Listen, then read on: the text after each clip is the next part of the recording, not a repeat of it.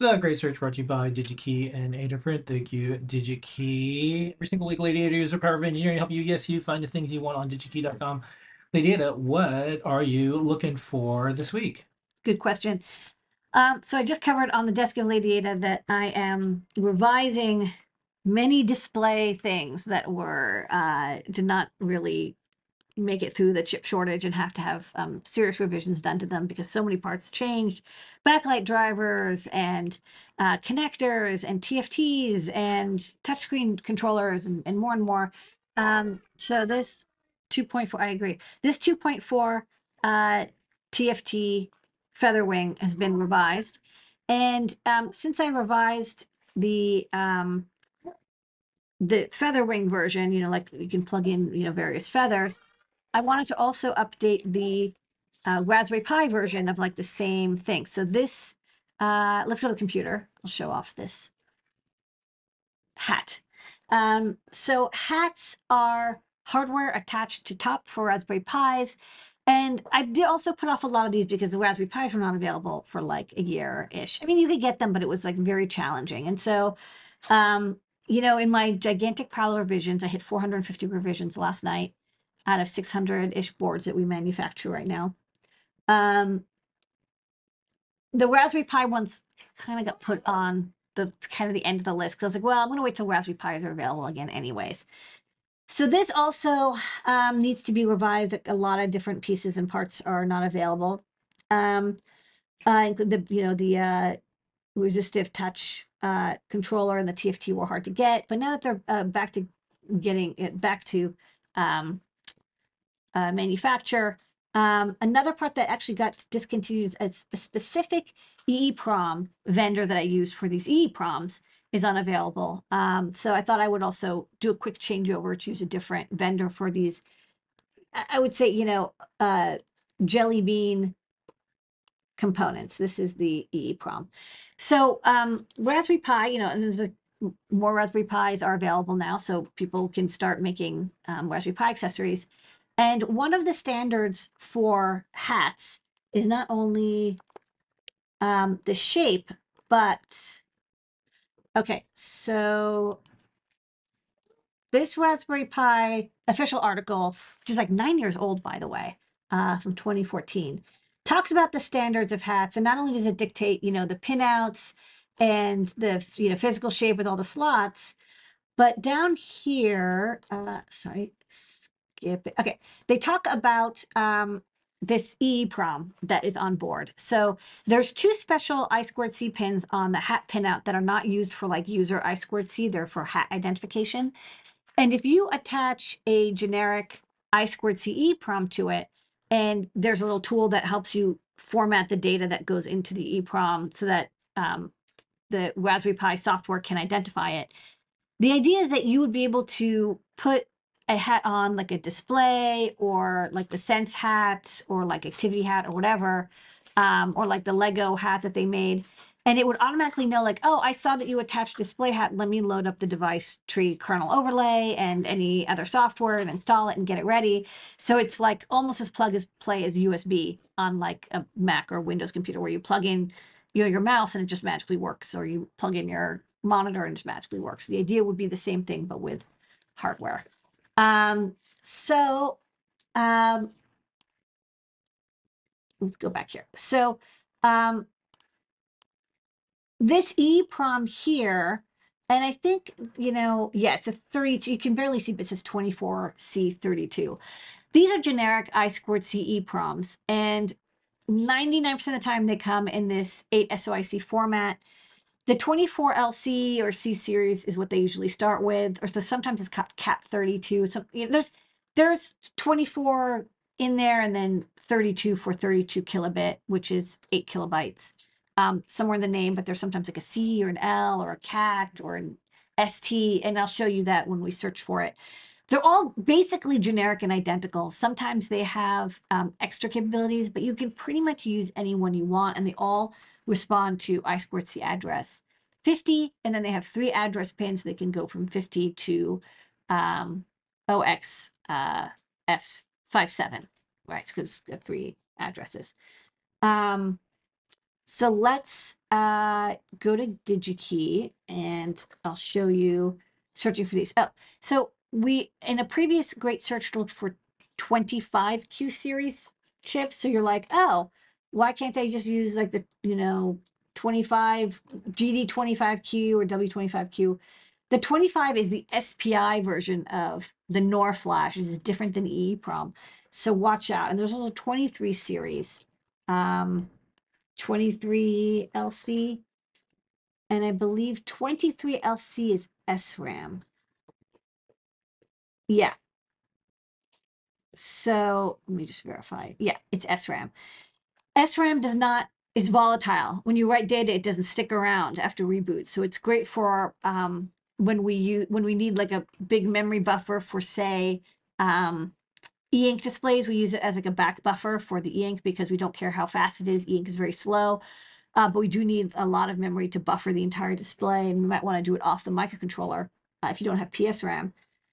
25 series is not EEPROM, it's flash. You need to erase and basically write a whole page at the same time.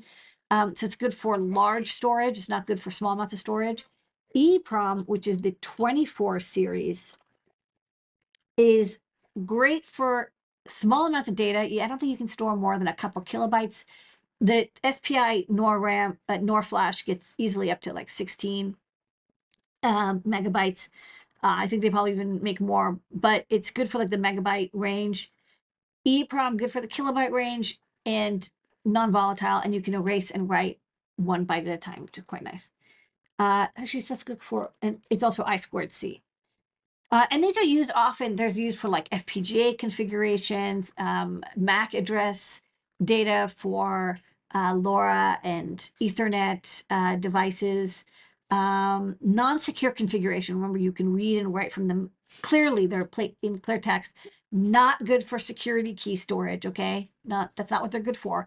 They're good for calibration data, um, serial numbers where you don't care if they get changed, but it's good for like you know identification. And again, like MAC addresses and stuff, or um, you know if you want to identify the board, that's common. Common EDIDs for monitors are stored on the EEPROM. So let's look at memory. So let's look only at active. I searched for I squared C EEPROM, so we're only going to get, you know, what we're looking for there. Um, we, I think we've covered FRAM on Eye on NPI before. That is more expensive, uh, but it's instantaneous, right? And it doesn't get affected by um, X-rays or whatever, like particles in space. And so if you're sending stuff up in space, FRAM is a good idea. Eh, we're not doing that. Also, SRAM is volatile, so we don't want SRAM. We want EEPROM only. And we want surface mount because we're going to put this on uh, a surface mount board like this. And there's a lot of options. And then remember, we're going to look for uh, 32 kilobits. Don't forget, a lot of these memories, it's I even get confused all the time. They are defined in kilobits. Um, and then if you want to know how many kilobytes, you have to divide by 8 four kilobytes, 32 kilobits.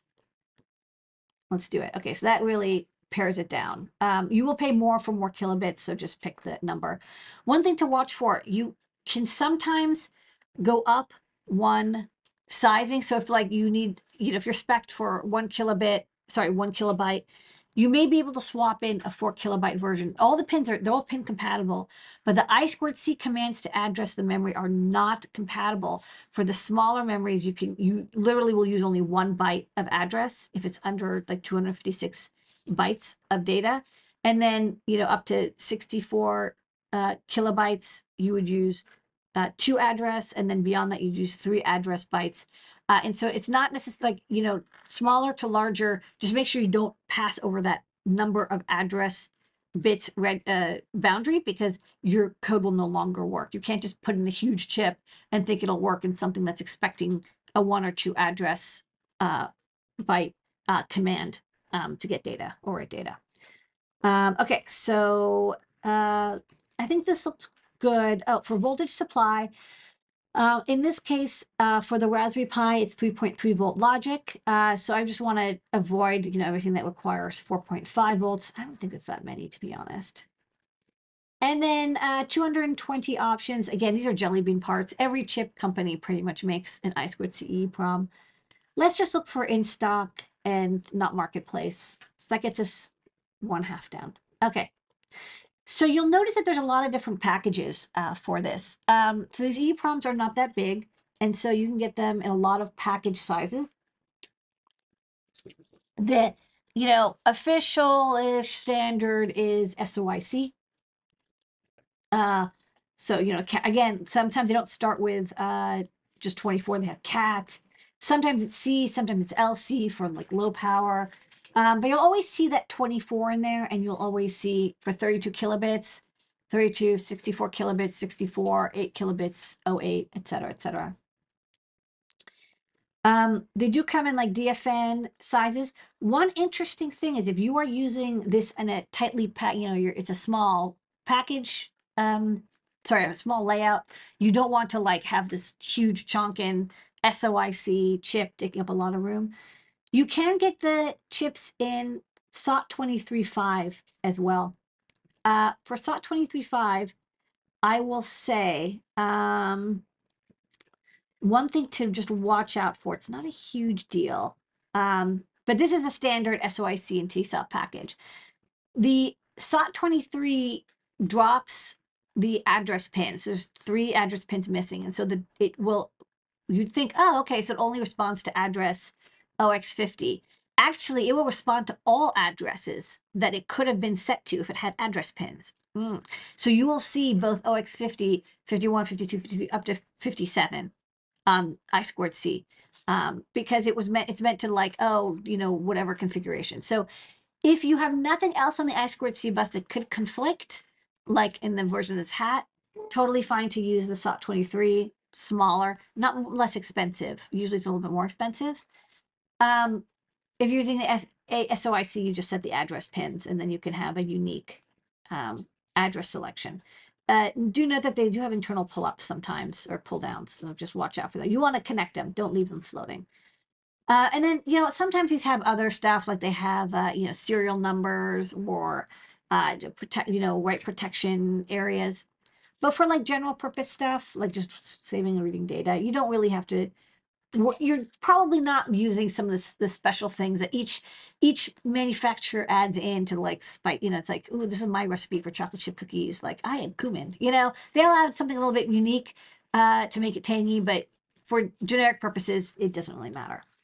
Um so uh, you know uh, they even come in if you want tiny packages you can get it in this like you know two millimeter probably by two millimeter size package 1.4 by 1.7 so tiny little EEPROM. But you'll see it still has the 24 and 32 and the C in there. This one has a G for some reason. Anyways, um, searching by uh, price. Let's actually go, let's go specifically say we want SOIC because I really just do want, and watch out, there's also narrow and wide SOIC. In this case, the part that I'm replacing is narrow. So let me get the, uh, the narrow or medium width. You also get uh, SOT 74 tiny SOT series. Um, yeah, a lot of good options. So I think, what did I pick in the end? I don't know. They're all good. I think, you know, this one is fine. This uh, M24 C32 from ST, you know, it's about like 20 cents in quantity. Sounds reasonable. I squared C up to one megahertz wide voltage supply range, uh, and you know, good everyday four kilobit, uh, kilobyte I squared CE EEPROM. So I'm gonna pick some of these up, and I'll get those Pi hats back into manufacture. That's a great search. Where